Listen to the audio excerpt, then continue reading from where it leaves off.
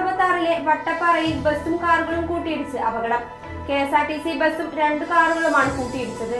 വട്ടപ്പാറ പ്രധാന വളവിന് താഴെ സ്വകാര്യ ആശുപത്രിക്ക് സമീപത്ത് വെച്ചാണ് കഴിഞ്ഞ ദിവസം അപകടം നടന്നത്. ഇരുപത്തൊൻപതുകാരിയായ വഴിയാത്രക്കാരിയെ സ്വകാര്യ ഭാഗം കാണിച്ച് അപമാനിച്ചു എന്ന പരാതിയിൽ യുവാവിനെ മഞ്ചേരി പോലീസ് അറസ്റ്റ് ചെയ്തു.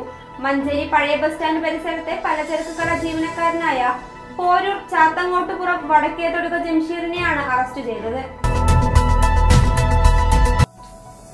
മകന്റെ സ്കൂട്ടർ കത്തിക്കാൻ കൊട്ടേഷൻ കൊടുത്ത മാതാവും സഹായികളും അറസ്റ്റിൽ പട്ടിക്കാട് മുല്ലാർകുറിശ്ശിയിലെ തച്ചാങ്കുന്ന് നഫീസ അയൽവാസി കീഴുവീട്ടിൽ മെഹബൂബ്. കൊട്ടേഷൻ സംഘാംഗങ്ങളായ തമിഴ്നാട് ഉക്കടം സ്വദേശി കാജ ഹുസൈൻ കൂട്ടാളികളായ അബ്ദുൽ നാസർ എന്നിവരെയാണ് Merattur C I K R Ranjith arrest ചെയ്തത്.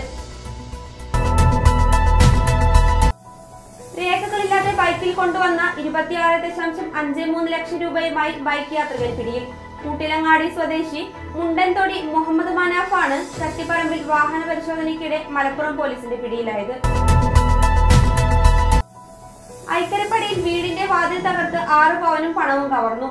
പഞ്ചായത്ത് സ്റ്റേഡിയത്തിന് സമീപം ഐക്കരപ്പടി കാക്കഞ്ചേറ്റ് റോഡിൽ കുറ്റിത്തൊടി പറമ്പിൽ രത്നാകരന്റെ വീട്ടിൽ വെള്ളിയാഴ്ച പുലർച്ചെ രണ്ടരയോടെയാണ് സംഭവം. വീട്ടുകാർ നൽകിയ പരാതിയിൽ കൊണ്ടോട്ടി പോലീസ് കേസെടുത്ത് അന്വേഷണം ആരംഭിച്ചു. നിലമ്പൂരിൽ നാടൻ തോക്ക് അറ്റകുറ്റപ്പണി നടത്തുന്നതിനിടെ മൂന്ന് പേർ വനപാലകരുടെ പിടിയിൽ.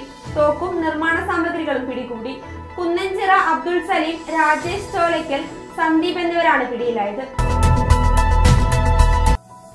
കെട്ടിട അയ്യായിരം രൂപ കൈക്കൂലി വാങ്ങുന്നതിനിടെ നഗരസഭ അസിസ്റ്റന്റ് എഞ്ചിനീയർ വിജിലൻസിന്റെ പിടിയിലായി.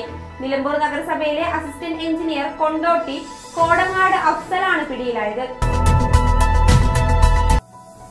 എം ഡി എം എയുമായി രണ്ടുപേർ പിടിയിൽ. തിരുവേഗപ്പുറം സ്വദേശി താമരശ്ശേരി വീട്ടിൽ മുഹമ്മദ് ഷാഹിദ് പൈലിപ്പുറം സ്വദേശി ഉമ്മർ എന്നിവരെയാണ് വളാഞ്ചേരി പോലീസ് പിടികൂടിയത്. ഇവരിൽ നിന്നും നാല് ദശാംശം അഞ്ച് gram M D M A ആണ് പിടികൂടിയത്.